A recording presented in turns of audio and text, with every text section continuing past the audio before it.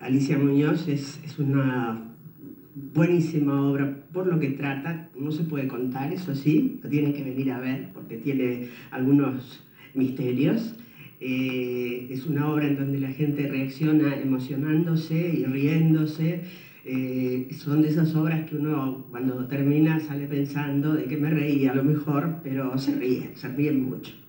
Sin develar eh, temática, podemos decir justamente que tiene, por un lado, la risa, lo humorístico, el condimento humorístico, y por otro lado, el elemento digamos, reflexivo. Sí, sí, sí, absolutamente así. Muchos de nosotros cuando lo leímos eh, empezamos a pensar en lo que decía la obra y era realmente conmocionante. Eh, y pienso que la gente sale de la misma forma, eh, aplauden bocadillos, bocadillos en la jerga teatral son los parlamentos. en Rosario, por ejemplo, como, como, con un resorte se paró todo el público a aplaudir al final.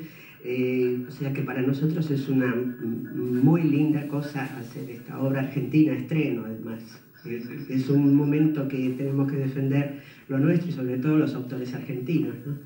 ¿Y qué elenco, no? Elenco, bueno, yo no lo puedo decir, puedo hablar de mis compañeros, puedo hablar de, Daniel Miglioranza, puedo hablar de, de Alejandro Aguada, excelentes actores los dos, de Valeria Lorca, una joven actriz también excelente, y de mi compañero Brandoni.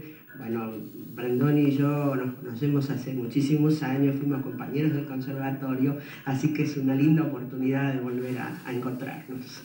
Eh, eh, justo en lo mejor de mi vida, ¿no? Eh, dejando, jugando un poco con el título y dejando de lado la obra en sí, ¿se podría decir que, estás en, lo profesional, en lo mejor de tu vida? Ya, yo dividiría, no dividiría lo profesional con lo personal. Eh, yo personalmente, personalmente estoy en lo mejor de mi vida.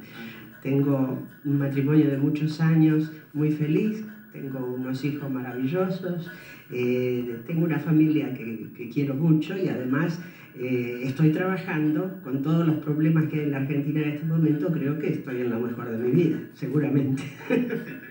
Eh, finalmente, ¿cómo vas a proseguir esto de, la obra? ¿Para dónde va Esto está en las manos de, Lino Patalano y veremos eh, cuándo debutamos en el Maipo y sabremos después cómo continúa la gira. por ahora quisimos hacer un estreno en gira porque nos pareció que el público se lo merecía.